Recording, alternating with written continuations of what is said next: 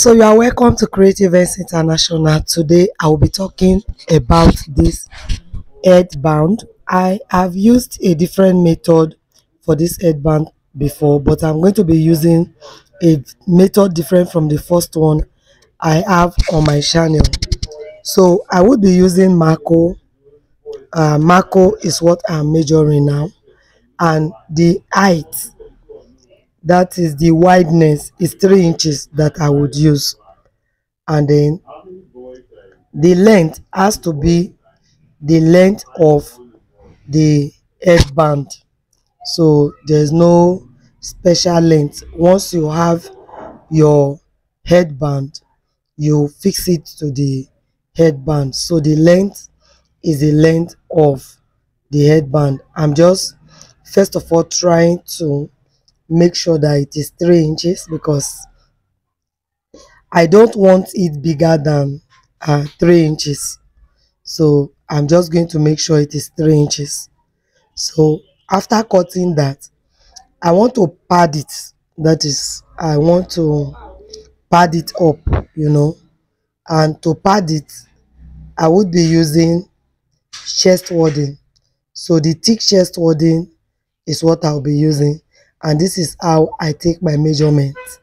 All right I want to take the measurement of the headband and that's what I have done.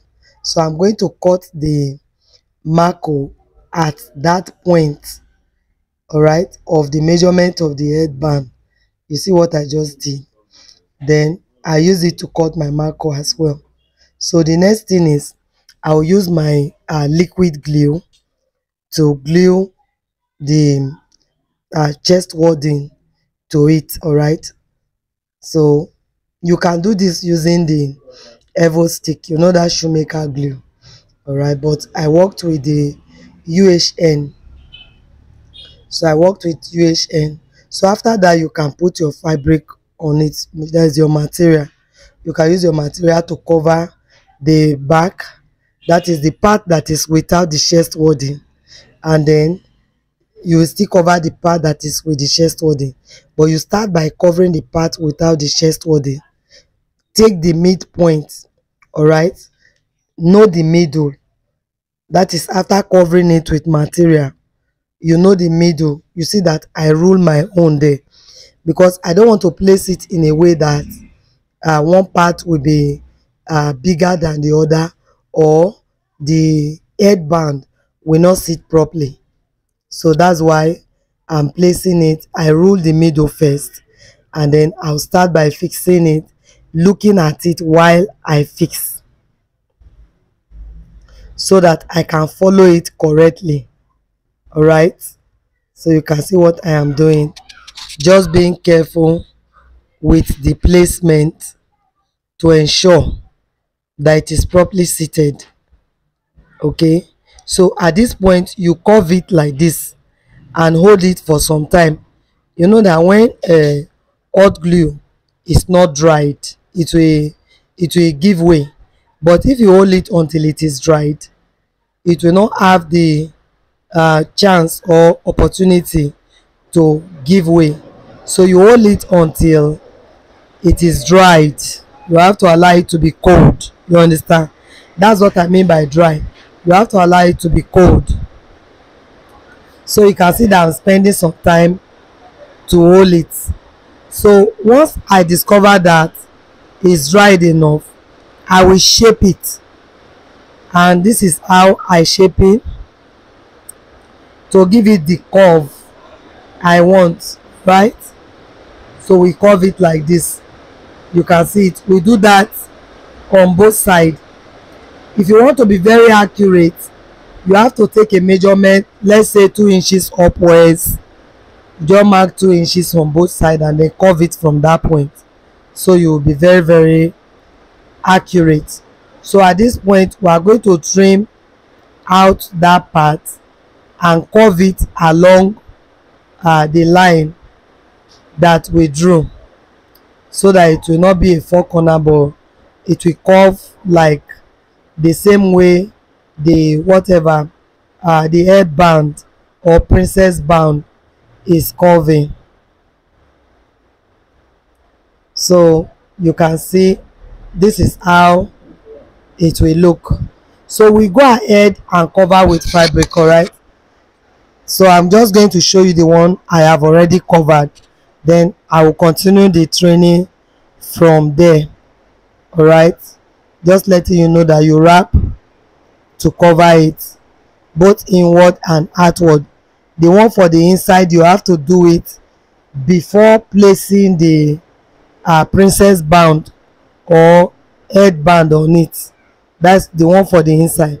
While the one for the outside? You do it after placing the princess band so at this point with the padding and everything this is what i will get so you can see how it came out.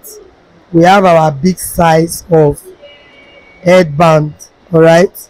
So we, we are still going to do some little work inside to ensure the complete uh, neatness of of it all all right? So we are still going to do some little work. You can see the inside now. You can see how properly the band is sitting and you can see how smooth also the top is. So at this point we are going to add our design to it. Whatever be your design is a thing of choice but i want to use uh, feathers for my design. I want to use feathers. And to do that i use the hand fan feather. Hand fan feather. That's what I, i'm using. So i'm using the hand fan feather for it. So i'm using the hand fan feather for it. So to do that also i need to work with the soft heart wire. The soft heart wire. So i use the soft heart wire to first of all cover the i use the soft heart wire i mean and then i covered it using bias. So i covered it with bias completely. After that i begin to attach the feathers to it. Don't worry i'm going to show you how i attached the feathers. So i have to first of all make sure that i covered it with the bias of the color for the feathers. So if you are not using bias you can use thread. You can use thread if you are not using bias. Also you can use the wool. Wool. W o o l. Wool. So you can use wool to also wrap so you say that you use bias thread or wool to wrap then you just pick your feathers or plug it that is pluck it out. Pluck it out. If you don't pluck it out the edge will be swollen. So pluck the feathers out. After plucking it out you put it at the edge of the heart wire. And at this time you are not going to be using um, bias to tie but you will be using thread thread or wool to tie. If you tie it with bias it's going to be swollen. It's not going to be smooth. But if you use thread don't make the thread thick. At least if you fold your thread into four it's okay. So you wrap it closely. You wrap it closely. Wrap it closely. As you wrap apply let there be a little touch of glue on it. Just wrap closely. Touch it with glue alright? So with that one you can uh, you can see that i'm touching my now you can be rest assured that it's well seated it's strong it's not just going to lose anyhow. You understand? So that's just it.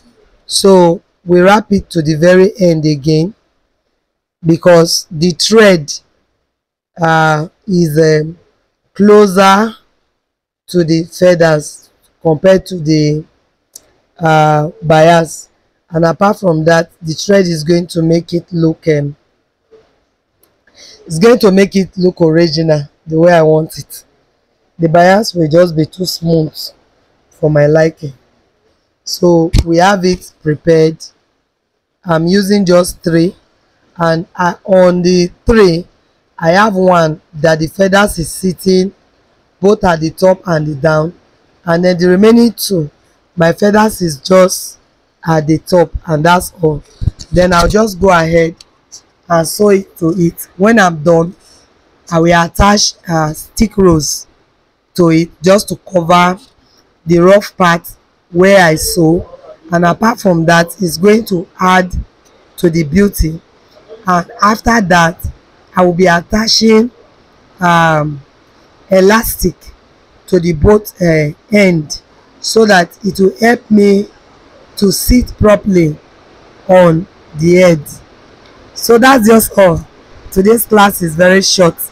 So if today is your first time uh, discovering creative hands international please uh, do subscribe to our channel before leaving today. And also please recommend the channel to other lovers of art like yourself because they have a lot to learn from us. So right now is going to be um, goodbye from my end. I will encourage that you watch the video to the very end. Leave a comment on the comment section especially on areas where you think you are confused i will explain to you. That is a promise all right as for now bye. See you in my next video